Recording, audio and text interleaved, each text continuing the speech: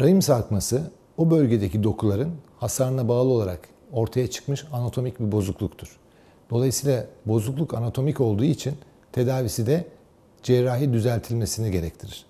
Bu nedenden dolayı rahim sarkması durumlarında eğer klinik bir bulgu var ise, hastanın bundan şikayeti var ise o zaman tedavisi cerrahidir.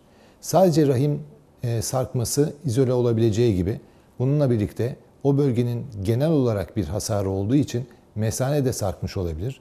Makat da vajene doğru fıtıklaşmış olabilir. Dolayısıyla genel olarak o bölgenin bir rekonstrüksiyonu, yeniden yapılandırılması söz konusu olmalıdır. Dolayısıyla oldukça e, komplike bir e, cerrahi yapılmalıdır bu rahim sarkmasının tedavisi için.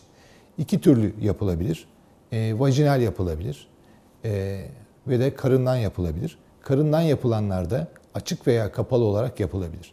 Rahmin hastanın yaşına göre e, çıkartılması söz konusu olabilir bu tamir esnasında. Eğer hasta ileri yaşta ise, rahim iyice dışarı doğru sarkmış ise, dolayısıyla vajinal yolla rahim çıkartılıp oradaki dokular rekonstrükte edilebilir. Bunun dışında eğer hasta genç ise, rahminin alınması gerekmeyen bir durumda ise rahminin yukarıya asılması gerekir. Bu gibi durumlarda da yukarıdan, karnından kapalı veya açık olarak rahmi yukarı asılarak e, tamir yapılabilir. Rahim sarkması durumlarında bazen idrar kaçırma şikayetleriyle eşlik edebilir. Bu gibi durumlarda da idrar kaçırma şikayetini e, ortadan kaldıracak bazı özel e, uygulamalar yapılabilir.